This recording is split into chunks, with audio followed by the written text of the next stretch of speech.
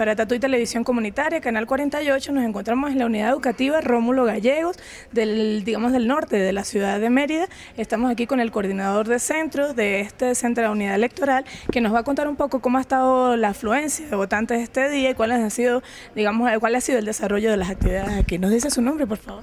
Mi nombre es Nicola Pellegrino, soy el coordinador de este centro de votación. Por los momentos todo ha estado en fluidez constante, no ha habido ningún tipo de inconveniente. Mm, los electores han venido constantemente, han votado aproximadamente a estas horas un 85% de la población que vota aquí.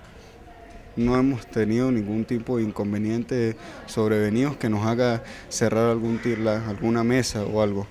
¿Cuál es la cantidad de mesas que hay en este centro electoral? Tenemos cuatro mesas activas. ¿Y cómo, cuánta es la cantidad de población que vota en este centro? Aproximadamente son 2.243 votantes.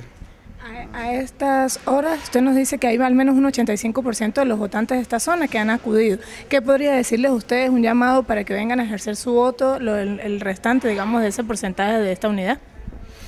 Que salgan a votar. El futuro está en sus manos y el derecho al voto es algo muy importante. Si ellos no lo ejercen, nadie más lo va a ejercer por ellos. Es muy importante que los que faltan por votar vengan y voten, terminen de cumplir su función del día de hoy. Este fue un reporte desde la unidad educativa Rómulo Gallegos para Tatu y Televisión, Canal 48. Estuvimos aquí con el coordinador de centro, quien nos ofreció, ofreció algunas, eh, digamos, informaciones de cómo estuvo la afluencia hoy del centro. Vamos otra vez al estudio.